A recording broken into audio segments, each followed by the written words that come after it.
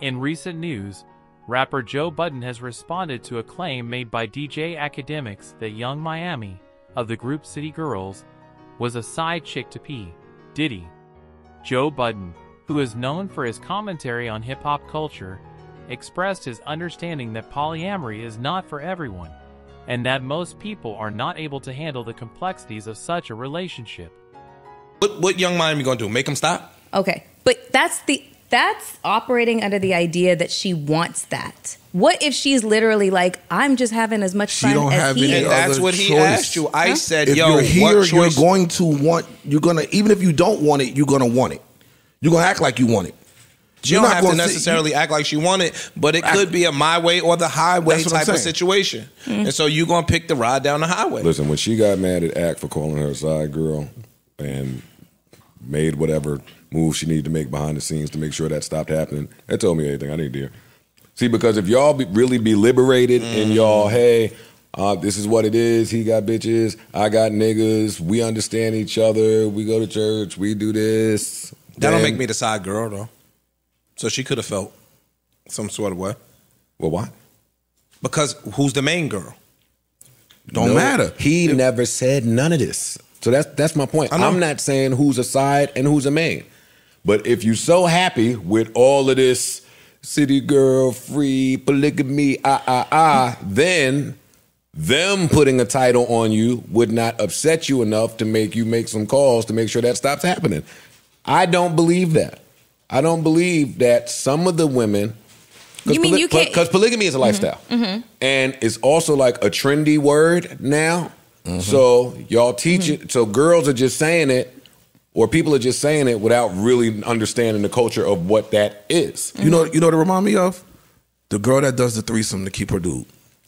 Yeah, the girl. That this is the new version of that. This is that. This is the new version of I'm bisexual until the girl get in the room. Nah, I think I th- to to what Melissa's point was, she, she's saying women are starting to embrace this, Well, I agree. and I think so. I just don't- I agree with that. And I think that women. I think would've that's a small number. It is, but I think this is because we kind of going on a tangent. With regards to what your original thing was, I think that society is what tells you what's right and wrong. Mm-hmm. True. And I think Facts. that women get judged way more harshly than men. Yes. Correct. So because women get judged way more harshly than men, you gotta kind of taper and keep your thoughts to yourself. Mm-hmm. You get what I'm saying? Yeah. Or share them with a real small group of people. Mm-hmm. And so men could be out here and you could fuck thousand women and you a stud.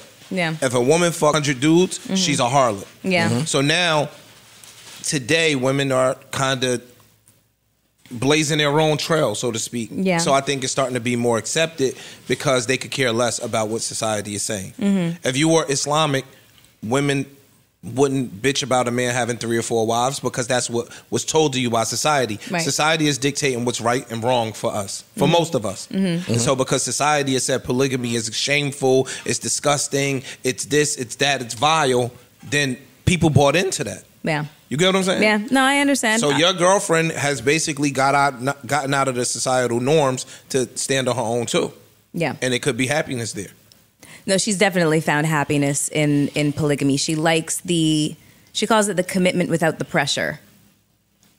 The women that I know that are involved in that life, they love it too. Yeah. Mm-hmm. But what goes along with it, y'all little new girls and internet girls ain't about to fool me into thinking that y'all built like that. Y'all yeah. not. Yeah.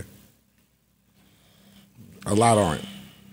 So, and I don't know how old Yung Miami is. How old is she? Is she like 28? I don't want to talk to no 28 year old about she, this. She might. I didn't. No, I- I'm just saying because they they I- brought up outside of the societal norm. Mm-hmm. Like like our parents told us, this is right, this is wrong, mm-hmm. and if you do this right here, you are wrong. Mm-hmm. These young kids aren't necessarily um, abiding by what was taught to them. You know what I'm saying? Like oh, these yeah. young kids is gender fluid and all of that new shit, so they kind of are more open minded to alternative lifestyles. Not that she's a young kid; she's 28, but you get what I'm saying. I'm not talking to no 28 year old about none of this shit. Yeah. That's me. Yeah. You 28 year olds are still trying to figure out who the fuck y'all are. Y'all still think that y'all have time on your side. They do. It's not y'all are not exempt. All of us were there. When I mm-hmm. was 27, 28, I said to myself, you know what? Fuck this. I'm gonna find a girl who don't go through my phone. you know what? This shit. You know, I'm gonna find a girl that don't argue about everything. Like that. That's what I was saying at 28. At around 36, 37. I had had a clear assessment of the field. I knew what I liked, what I didn't like, and what, what I could deal take. with, Yep, what I couldn't deal with, how to go about procuring certain things, how to speak to people. Like it's very nuanced. Yeah, at 28, I might have felt like there was a lot of threesomes that I wanted to have. At 36, nah Yeah. wasn't Same. wasn't the same. At 28. I may have thought I would have responded to certain situations a certain way if I were just talking them out. By the time I was 38, I had been in situations I would have never fathomed, and you kind of know how feelings and emotions and love and shit could just come in Mm-hmm. and you and you act differently. Like like you said, you'd have talked it out saying, "Yo, if this happens, I'm gonna do this. I'm out, no matter what." Boom, boom, boom, boom, boom. But now you done been through it two, three times. yeah. So what now I'm you saying done about grown that- up, like- still what I'm grounded in so- what your moral system was from when you were a kid. It's still grounded in, you know what I'm saying, what your um, view of right and wrong is. What she's talking about is polygamy based on um, a, a, a, a social acceptance. And it's not socially accepted because somebody told you 20, 30 years ago that that's wrong and you shouldn't be doing that. Would you be able to do it? Have a polygamous relationship? Yes. I'm asking the room. I Flip. doubt it. Flip. I doubt Would you be able to do it? No, Ice. I could do it if um she ain't know. That's not polygamy. You can ask me a That's, question. that's, that's not polygamy. Parks? No, no, Melissa? it's a lot of work. But to answer the question, no. I want to try it. It sounds like a do lot of want- Like yo, I wanna dog. try it. A lot of people be swingers. They be happily definitely married wanna for try thirty and forty years, dog. Because one of the biggest reasons for couples breaking up is infidelity. Would anyone in here swing? No. No, They got swinger No. parties and swinger boat parties and shit. Everywhere. I wouldn't swing, but I I definitely think I could handle polygamy. Let's go, Mel. M4. Yeah. Yes. It appears that Yung Miami was able to quickly mobilize media coverage in her favor in order to silence DJ Akademiks and force him to retract his statement and apologize. This shows the power of celebrity and the ability of celebrities to control their public image.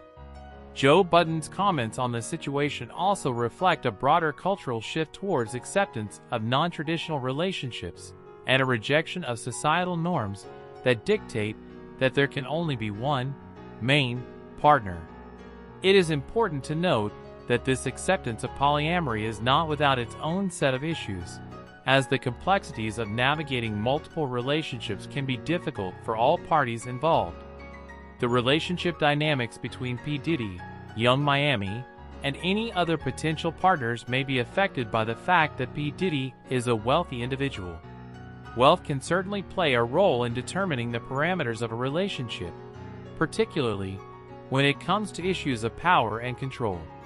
It is possible that a wealthy individual, such as P. Diddy, may have more social and financial capital, which in turn can make their partners more open to the idea of polyamory. This could be because a wealthy partner may be able to provide financial stability and a certain lifestyle that some individuals may find appealing. Additionally, wealth can also be used as a means of control or manipulation in a relationship, which may make some partners more willing to comply with a non traditional relationship structure such as polyamory. On the other hand, it is also possible that a wealthy individual's partners may be more open to polyamory simply because they are attracted to that person and may not be swayed by their wealth. Additionally, it is also possible that the individual's wealth has no effect on the dynamics of the relationship and that the partners are open to the idea of polyamory independently of the wealth of their partner. It's important to remember that every relationship is unique and the dynamics of a polyamorous relationship involving a wealthy individual will depend on the specific individuals involved and their personal circumstances. It's also important to note that consent is fundamental in any type of relationship, and that all parties involved should be aware and comfortable with the dynamics of the relationship.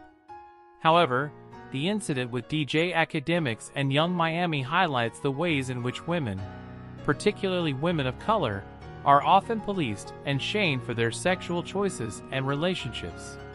Yung Miami's ability to quickly mobilize media coverage in her favor and silence her critic is a powerful reminder that women should have agency over their own bodies and be able to make their own choices without fear of judgment or backlash.